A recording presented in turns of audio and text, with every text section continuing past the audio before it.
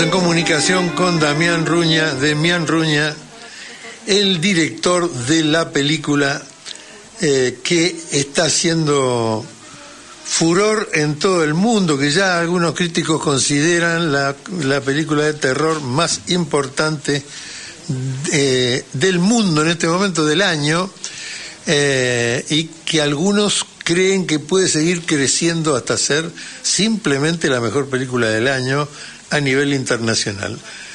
Eh, buen día, Demián. A este lo conozco. Eh, vos sabés que pensé muchísimo en, en, varias cosas que genera la película. Se llama Cuando acecha la maldad. Fue estrenada el día 9 de noviembre. Eh, Demián, hace rato, eh, vos ya hiciste una película en Aedo con los amigos, con los vecinos que terminó comprándotela la cadena norteamericana de, cine. Sí, bueno, mira, en Aedo eh, ocurre una cosa muy extraña que es que hay muchísimos cineastas que hacemos cine de género. Están los muchachos de Farsa Producciones, bueno, ya no son, son eh, ya no son más Farsa, pero siguen haciendo cine. Eh, que ellos se empezaron en el año 92, tenían 8 o 9 años y hacían películas de zombies. Eh, yo arranqué en el 2000. ¿Se congeló? A ver. Sí. Perdón, ¿eh? eh Hice Aterrados en el año 2017 y ese fue el largometraje que me, que me compraron de afuera. Lo compró Guillermo del Toro y un estudio de Hollywood y estuvimos trabajando en, el proyecto de hacer la remake, esas ideas que tienen los, gringos de hacer una película sobre algo que ya está hecho. Y bueno, después la pandemia terminó cancelando el proyecto y bueno, no, pudimos concretar. Pero yo sí he filmado mucho en Aedo, he filmado mucho con mi familia, he filmado mucho con mis amigos. Em, pero bueno, la, la peli justo que compraron eh, los Yankees no fue la que hicimos en Aedo, sino eh, otra que hicimos con el Instituto de Cine, pero bueno, estuvimos por varias locaciones, Villa Tesey, este, Morón. Sí, en Morón, estuvimos también, eh, bueno, ya, no me acuerdo dónde tanto, pero pero yo suelo filmar en el oeste, suelo filmar en, al menos en el Gran Buenos Aires, y es este algo algo que, porque yo donde yo me identifico, donde yo crecí, donde es mi barrio, entonces me gusta que transcurra ahí. Eh, bueno, un fenómeno curioso, digamos, y, y bonito de, sentir, de mirar.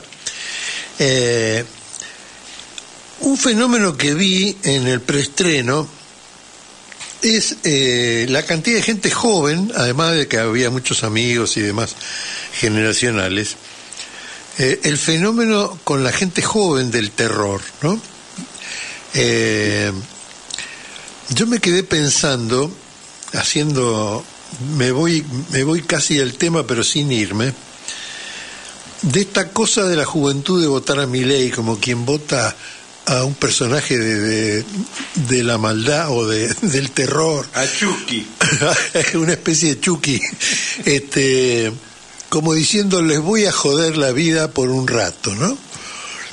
Para que me den bola o para cambiar eh, el destino de la sociedad o para este, que la gente que, a la cual yo no tengo acceso este, me dé bola y se dé cuenta que queremos más cosas o otras cosas. no he dejado de pensar en eso desde que vi la película. ¿Cómo ves eso, esa, esa, ese amor de, sobre el terror? Sí, yo justo Martín te escuché ayer con Greco y me, ah. dejaste pensando con eso. Yo, por ejemplo, eh, bueno, sí, a diferencia de... Yo vengo de, pasar la peli en otros países, en festivales y eso, y lo que noté ahora en Argentina es, digamos, algo súper bueno e increíble, que cómo bajó el promedio de edad de los chicos que fueron al Festival de Cine Mar del Plata. Son, eran todos pibes de 20, 22 años, eh, increíbles, fascinados con, la película, con ganas de ver, y también de, ver esta, peli. y apoyando el cine argentino y también me, da esa reflexión, digo, pucha, de todos estos, hay muchos que van a votar a mi ley. Y, y es un poco, sí, trazar ese, ese paralelo de, de, que tal vez todos están un poco jugando con, esto, con el espanto. Y cuando uno ve una película de terror, es eso, es en realidad está jugando con que lo espanten, están diciendo desafiando al director, desafiando a los que hicieron la película a ver si logran espantar o no. Y, y esto, con, bueno, pero lo haces desde, la seguridad de tu sillón, desde sentadito en tu casa o en la butaca del cine y volvés a tu casa y sigues con tu vida. Y acá pasa eso, pasa un poco, me parece a mí, esa idea de jugar con este personaje siniestro, porque es una figura de un personaje diabólico y se vende como tal y mucha gente joven lo compra eso y, y hay una especie de cierto juego, ¿no? De cierto juego también con muchos de diciendo, ah, mira, hasta, hasta dónde podemos hacer nosotros, hasta dónde podemos empoderarnos con este tipo para hacer sufrir a los hipotéticos políticos corruptos que están destruyendo la, al país. Y ese juego se torna muy peligroso.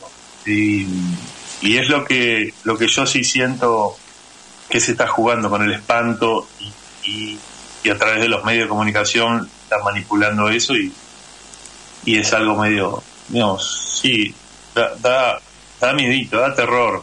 Y yo lo único que espero, bueno, que, que la peli no termine mal. eh, se, se habla en algunos círculos de, que ya, ya tus películas son películas de autor, digamos, eh, que tienen más, que no es no es solo un género como lo hace la industria americana, digamos, que ya tiene como un modelo de, sino que vos construís varias cosas significantes a la medida que, que avanza, ¿no? Eh, te metes en, en, la vida cotidiana, eh, mostrás eh, un país desde el campo, que me imagino que en, algunos lugares del mundo será original, generará algún tipo de, sorpresa, eh, con gente muy común, además, eh, y, y, digamos, muchas veces le perdonás la vida al que recibe el impacto del terror. Eh, como para decir, bueno, pero no es solo, no es gran guiñol esto, también hay otros pensamientos, otras sensaciones, ¿no? Eh, sí, yo em, es, es, rarísimo porque, a ver, al menos yo en mi cine, en todas las películas que tengo, intento ser genuino, intento contarlas desde, desde mi visión como, como argentino. En algunas puedo poner algún subtexto en esta película mismo, si, se puede leer tranquilamente eh, cómo la maldad en realidad es la propagación del fascismo en la cabeza de la gente y hacia el final de la película es eh, el, mal que se lleva a una nueva generación hacia un, un, destino incierto en el cual lo tenemos que imaginar nosotros. Eh, hay películas y hay, hay, digamos, historias que te permiten eh, hacer una reflexión extra y otras que no te permiten.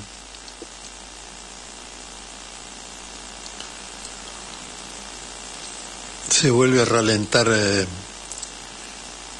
el sonido, ¿no? Y conmigo mismo, y que son desde, desde mi punto de vista de una, de una persona simple, un chabón que tuvo que elaborar mucho eh, para llegar a, hacer cine y, y, lo trato de que sea natural, o sea, no, no impostar que es una, eh, pensar que es una película para que se venda en todo el mundo.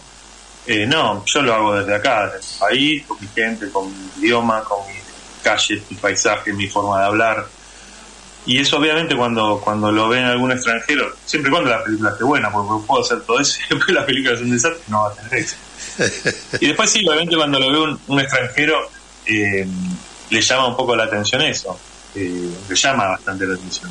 Eh, y es, es, este, es muy gratificante a mí saber que la película hoy, la peli, bueno, un poco lo decías vos, Martín, está toda la segunda película más popular eh, de Halloween a nivel global, o al menos eso es lo que transmiten las páginas eh, que tienen esa información, eh, lo cual es una locura que una película Halloween, Halloween es el circo inventado por los yankees, una película argentina en nuestro idioma, con eso, encima está, está hecha en el medio del campo, con paisanos, esté en ese nivel.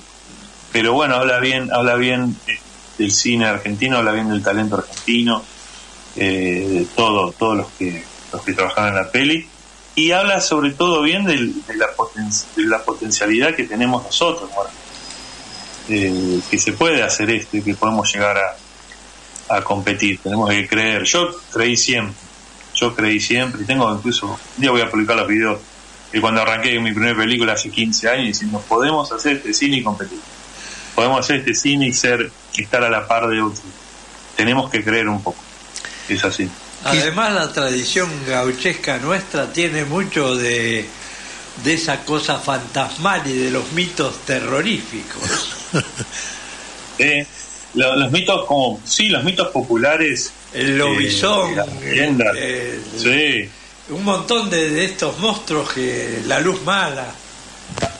Un montón.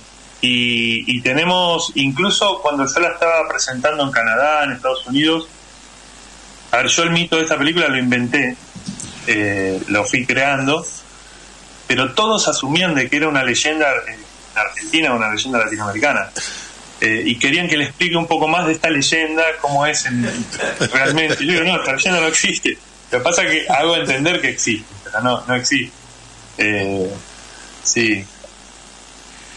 Bueno, felicitaciones, felicitaciones y un orgullo para los argentinos eh, que haya gente como vos. Y bueno, eso le debe dar miedo a algunos que nos quieren someter más fácil, que acá la gente tiene con qué.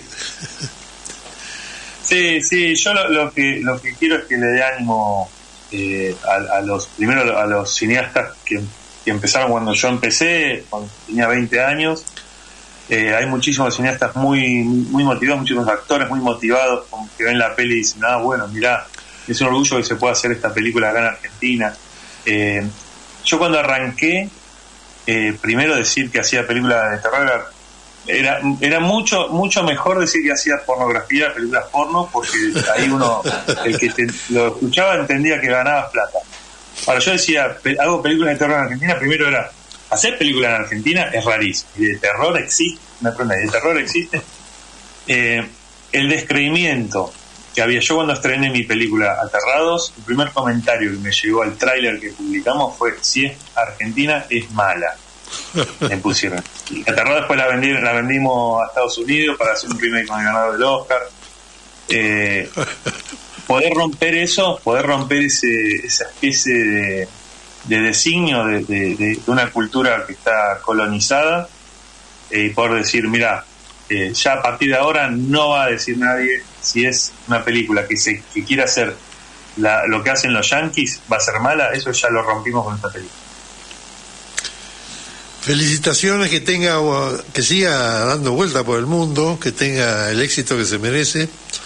Y vos también, bueno, ya lo tenés. Así que, además sos una persona que sigue rodeada de sus amigos de, la infancia, que seguís disfrutando de tenerlos eh, en, este estreno y, de ser un tipo de, de aedo del barrio. Así que también felicitaciones por eso.